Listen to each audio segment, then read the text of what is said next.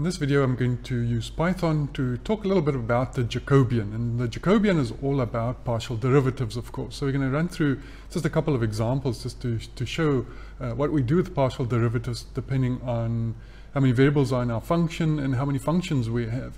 And then we're going to just look at, as far as data science at least is concerned, just look at some uh, example how we use how we would use the Jacobian in a neural network. We are here in a notebook, a Colab notebook in, uh, in uh, our Google Drive. And we'll go to full screen mode there so we can see a little bit more. So the packages that we're going to use in Python, I'm going to use symbolic Python and as always we just use the namespace abbreviation SYM.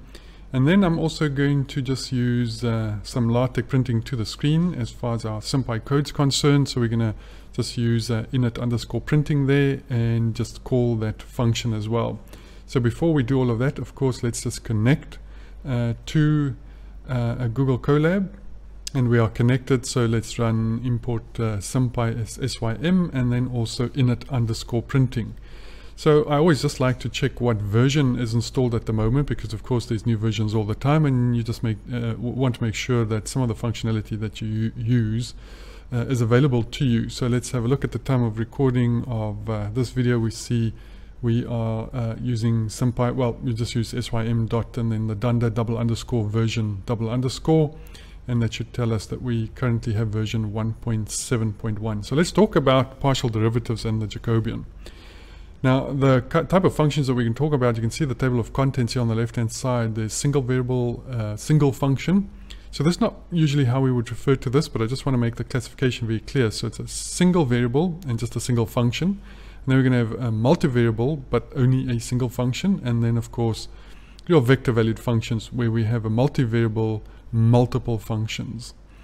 So first of all, just that single variable, single function, this is a mapping. F, as you can see in one here, we're just mapping F. F just maps the reals to the reals. So giving me any real valued input. And uh, the output's also going to be a real number. And of course, one of the easiest ones is the parabola y equals x squared. And you can see here in 2 then, if we just take the derivative of f with respect to x, we all know uh, that rule it's just going to be 2x. But we can use SymPy, of course symbolic Python, turning our Python in, uh, instance here into a computer algebra system. So we're going to use the symbols function, as we can see a symbols function, and we're going to set um, mathematical symbol x to the computer variable x. So if we do that assignment, we can now use x as a mathematical variable. So I'm going to show that I can create a computer variable f here to hold this expression x squared. Remember the double uh, star symbols for exponentiation or the exponent at least uh, the power I should say uh, of a variable. So x to the power 2 and then we print f to the screen and because we've set init underscore printing we've called that function. We can now see x square printed in LaTeX there. No problem now we can just use the diff diff method on our object f there. So f dot diff and then we pass the variable with which we want to take the derivative with respect to. So this is f um, or take the derivative of f with respect to x. And if we do that, very neatly we should see that the answer is just 2x there as we would expect. So very easy just to use the diff method on on our expression there. So let's go to a multivariable single function. So what we're doing here in 3, as you can see, we're just mapping uh, R squared to R. So you give, give me a Cartesian product, any two elements in R, and uh, it will map to a single value. Uh, here we have an example, also a function called f. It takes two variables, x1 and x2, both real numbers, and it's going to output a single real number. Hence the mapping that we can see there. So we're going to use uh, x underscore 1, x underscore 2 as our two variables. So 2 times x sub 1 times x sub 2 squared plus 3 times x sub 1 plus 2 times x sub 2. And if we want to take the derivative of that, remember we have to take partial derivatives because we can take the derivative of this function with respect to either of our two variables. And that's what we see in 4 so we have the partial derivative of f, f with respect to x1, comma, the partial derivative of f with respect to x2. And what we end up with this is this little row vector here, in as much as we now have two values. And taking the derivative, a, a partial derivative, of course, you just treat all the other variables as constants. And that's why from 2x sub 1, x sub 2 squared, if we take that uh, first expression uh, and we take that uh, with respect to x sub 1, x sub 1 is a, x sub 2 is treated as a constant, so that's just going to stay, so it's 2x sub 2 squared. And then from 3x plus 1, we're just going to get the plus 3, and because 2 times x sub 2 is treated as a constant, of course, that the derivative of a constant is 0.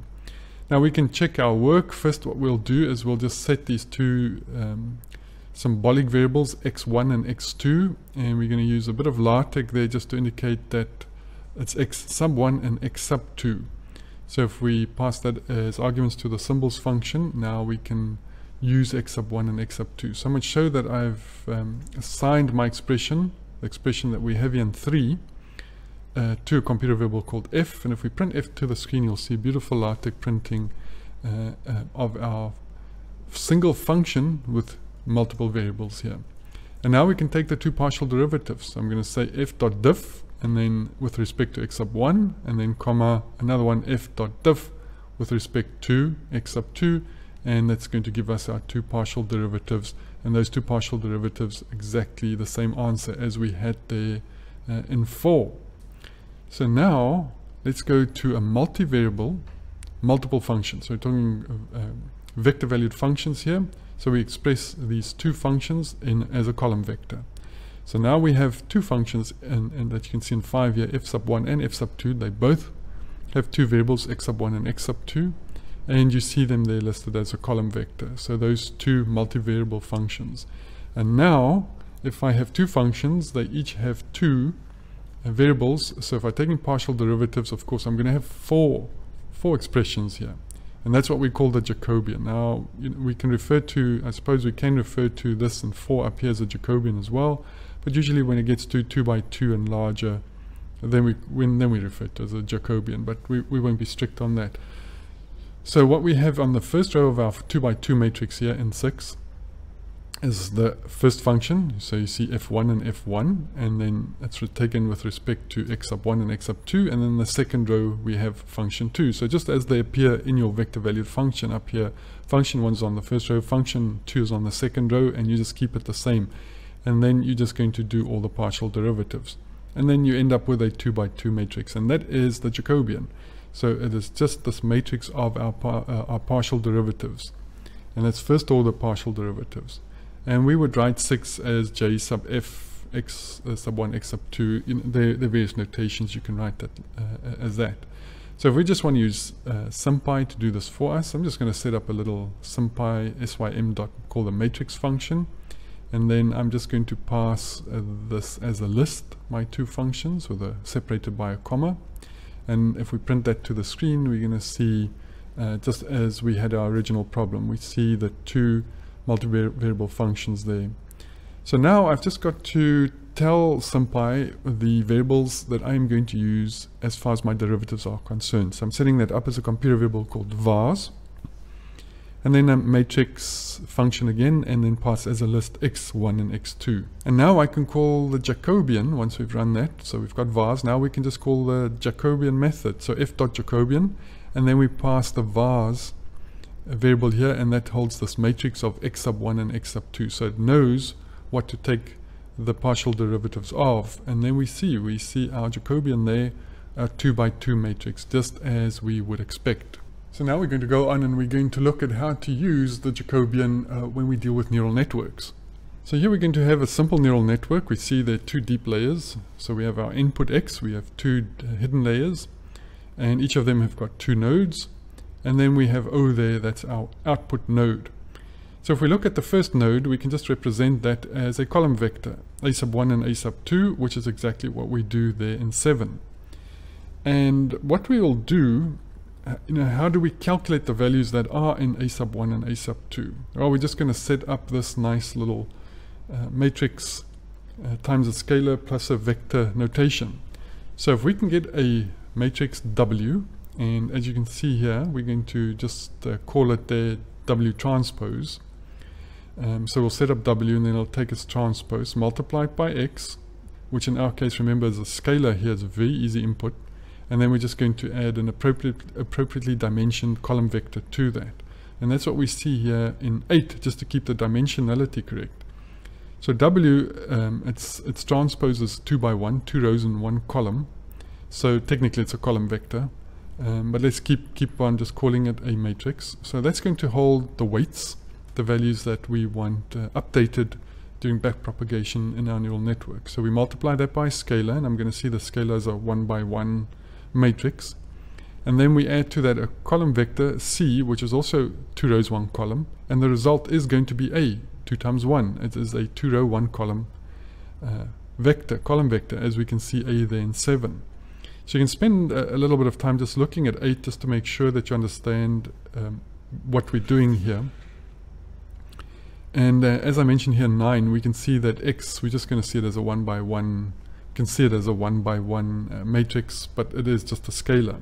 And if we look at W now, uh, but I'm going to use W again. So what we usually do uses the superscript notation inside of parentheses, where this just denotes that this W refers to our first hidden layer here. So it only pertains to multiplying X with something, adding a bias node to get the values that are in A1 and A2.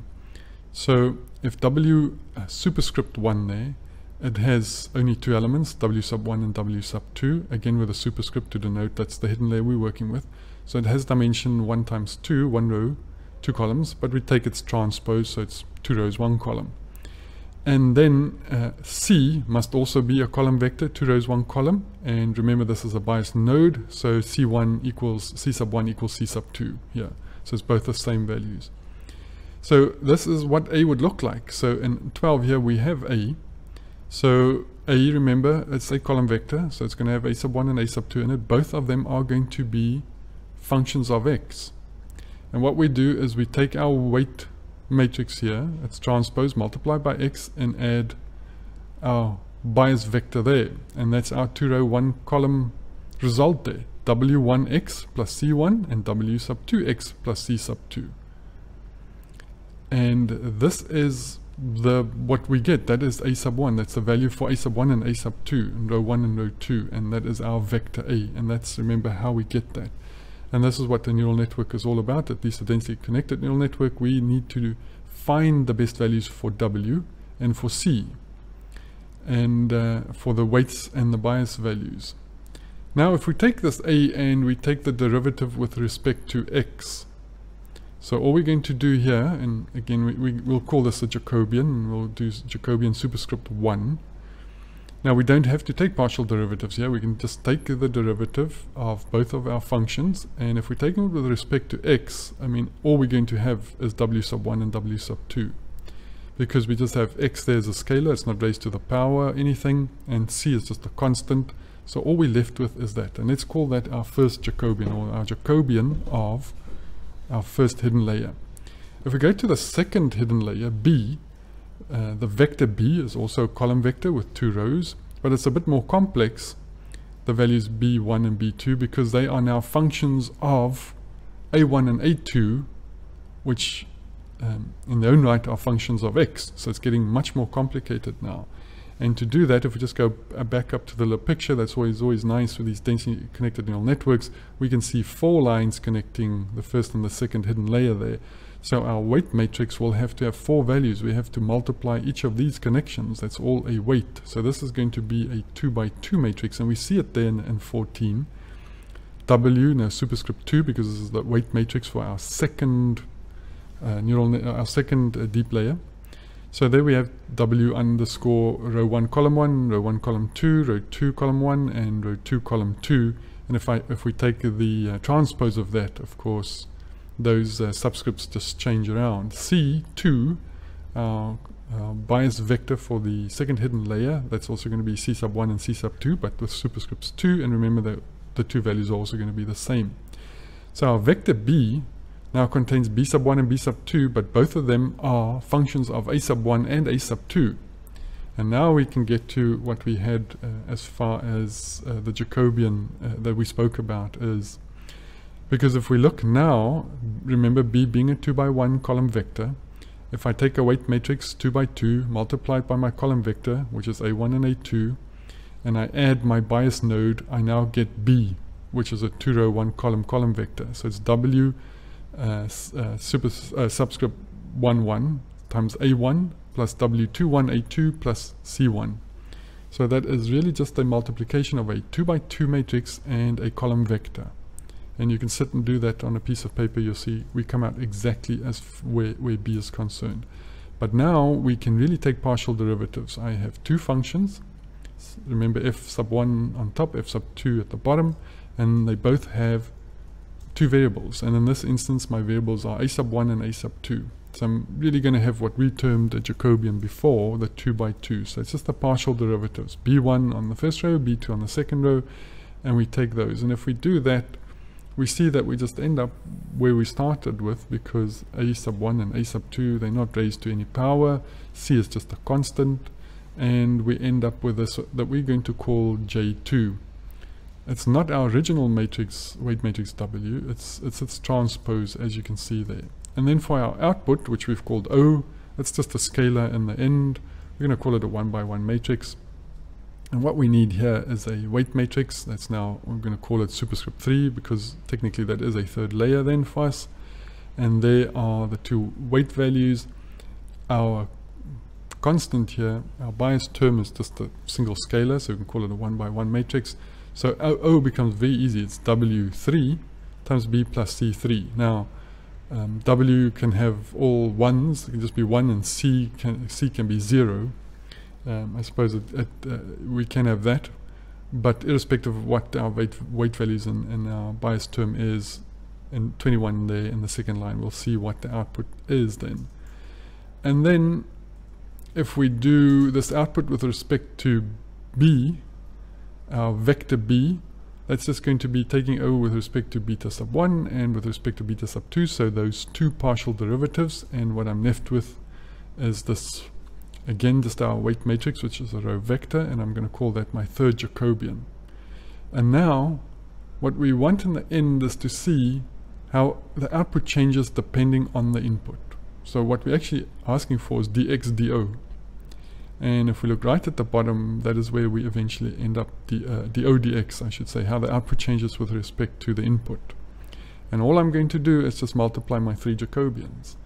And because uh, what we are asking uh, in the end is just a scalar, if you look at the dimensions, 1 by 2 times a 2 by 2 times a 2 by 1, well, what we're going to end up with is a 1 by 1.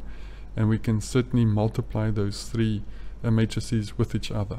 And that's how we use the Jacobian when it comes to neural networks.